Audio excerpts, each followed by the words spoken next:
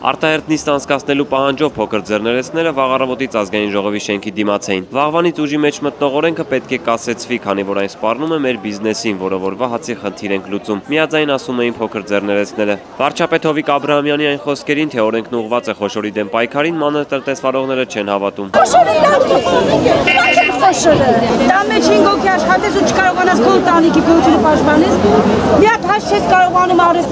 Իրանք մտածելու ոչինչ չունեն։ Իրանք ասեն դիզել են իրանք տակը, բոլորը դիզված է։ Սիտիները աշխատեն, դերները լայնացնեն ու այդքան ուտեն քտերիցը թափ։ Առևտրականների կոչերին այսօր կրկին արձագանքեցին միայն ոչ իշխանական քարյակի ներկայացուցիչները։ Մենք արդեն հավաքեցինք անհրաժեշտ 45 ստորագրությունները։ Այսօր նշանակված է ժամը 18:30-ին։ Ուրեմն արտահերտ նիստը Սիրելի ժողով, դուք պետք է մասնակցեք, դուք պետք է նիստի ժամանակ փորձեք հարաբետական պատգամավորներին ճնշել, որ իրենք մասնակցեն նիստին, ինչը իրենց սուրբ պարտականությունն է։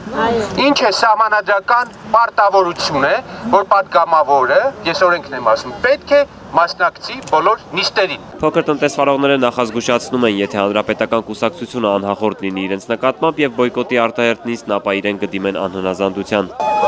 Հանձնում է կանաձեռներեսները ներխուժումա տեսու չօրինակ շուկա, ոնց է կարանալու հազար հոգու տուգանի, չի կարալու, վերջ ֆիզիկական անձեմ դե թող տուզ ինձանից, աշխատեք ձեր համար։